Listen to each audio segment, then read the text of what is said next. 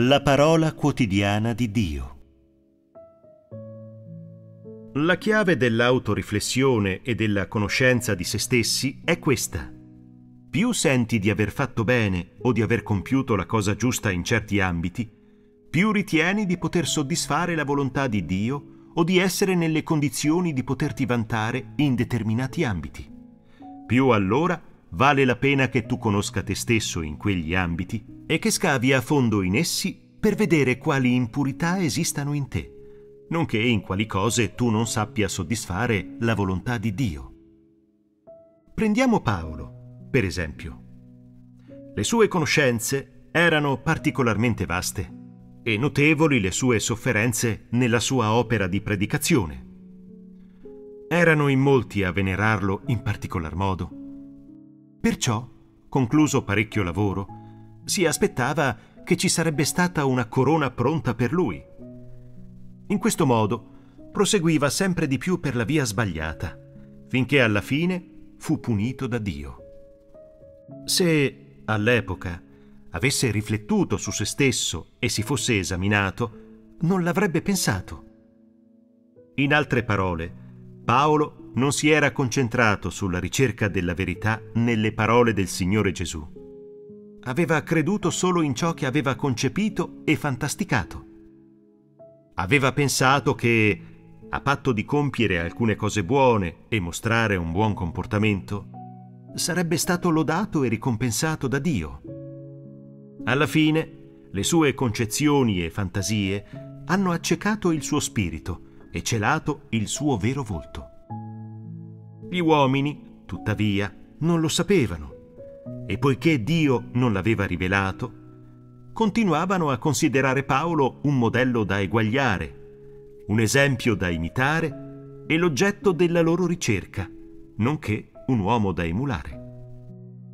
Questa storia su Paolo funge da monito per tutti coloro che credono in Dio.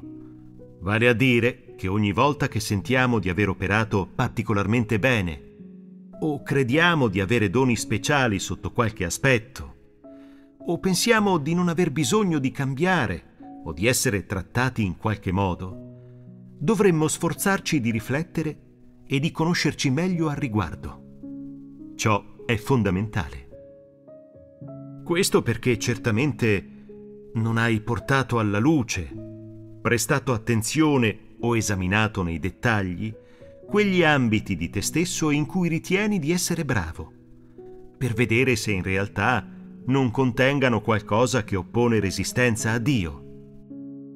Per esempio, alcune persone ritengono di essere di animo estremamente gentile. Non odiano e non danneggiano mai gli altri e danno sempre una mano a un fratello o a una sorella la cui famiglia sia in difficoltà per evitare che il loro problema rimanga irrisolto. Manifestano grande benevolenza e fanno il possibile per aiutare tutti. Qual è il risultato di questa disponibilità? Trascurano la propria vita, eppure sono piuttosto compiaciuti di se stessi ed estremamente soddisfatti di tutto ciò che hanno fatto. Per di più, ne sono assai orgogliosi convinti che tutto quanto hanno fatto sia di sicuro sufficiente per soddisfare la volontà di Dio e ritengono di essere veri credenti in Dio. Considerano la loro naturale gentilezza una cosa da cui trarre vantaggio e, non appena maturano tale convinzione, giungono inevitabilmente a ritenerla la verità.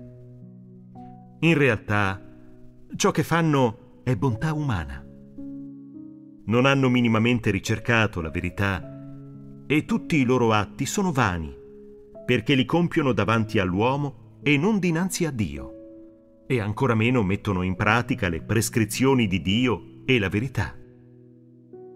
Niente di ciò che fanno è la pratica della verità o la pratica delle parole di Dio. Tantomeno queste persone seguono la sua volontà. Invece usano la gentilezza umana e il buon comportamento per aiutare gli altri. Riepilogando, non ricercano la volontà di Dio in ciò che fanno, né agiscono secondo le sue prescrizioni. Pertanto, dal punto di vista di Dio, il buon comportamento dell'uomo è condannato e non merita che lui ne serbi alcuna memoria.